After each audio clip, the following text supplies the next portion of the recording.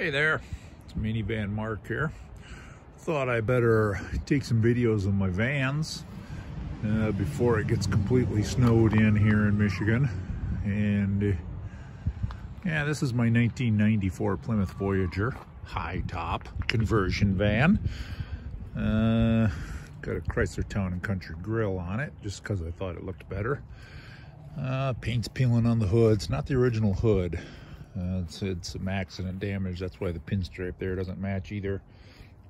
It's got wheels off a 2000 Chrysler Town and Country, 16 inch wheels, whereas 15 inch would be the, the standard size. And yeah, tinted windows. Um, it's a Michigan van, taken pretty good care of. I had some rust damage there, which I very quickly hackeried and patched over.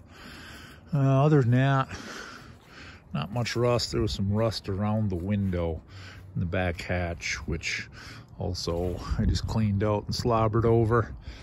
Um, it's got a trailer hitch on it, which I put on there. Um, also has air shocks on there. Um,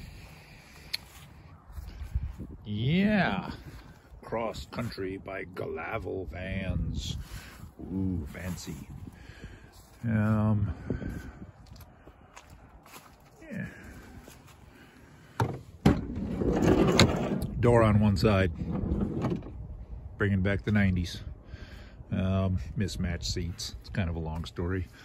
But, yeah, that's what it had. Very fancy wood grain. Had mood lighting in there, too. Used to have a TV there. Now it has a roll of toilet paper and other picnic supplies. Used to have a VCR there. Now it's got, eh, what is that? Red Solo cups. All right. Uh, used to have a cassette deck. Uh, let's see, paper towels, yeah, I don't know, cups, plastic forks, spoons, picnic supplies, you know?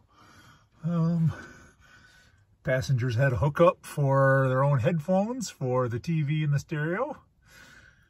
Their own little lights, also very nice wood grain. Um, in the center section here, there were some fancy, I guess there were some fancy colored lights called, and they call mood lighting, which have never worked for me. When I first got it, it had all the other things and they all worked. It's just a storage compartment back there. Um, yeah.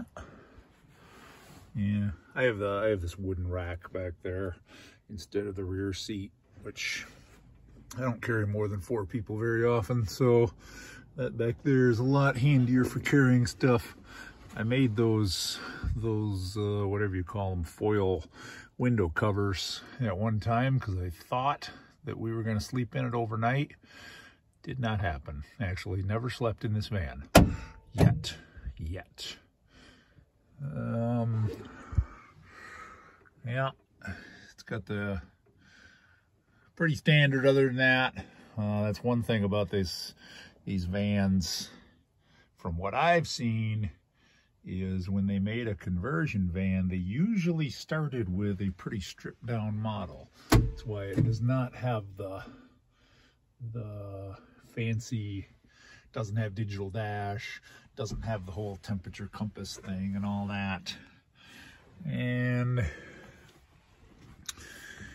yeah, I made some things. I made this front suite, this front seat swivel and that's probably worthy of another video at that point because that was a pretty good pretty good operation. That's why these seats don't match anymore because the seat that was here is actually now in the front and it's on a swivel. So you can turn it around and face back. Um, other than that yeah pretty messy pretty messy. Vans become sheds very quickly don't they? Um yeah other than that 3.3 liter no powerhouse uh, probably gets about 18 to 19 miles per gallon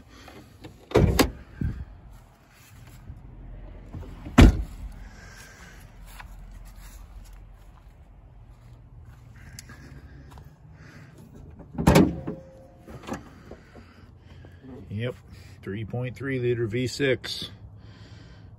Uh, it's been good. The air's working. The air works. Uh, heat blows nice and hot. I see there's some extra electronics added on in there. That's for the various stuff that goes in the the the conversion part, the TV, VCR, all that stuff. And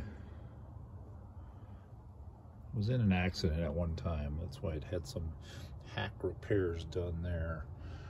Not really sure what's going on with that, but the that's why the hood's not original. Hood's also got a bit of a bulk, buckle into it. It doesn't line up perfectly. Um, yeah, overall, very happy with it. All right, talk to you later.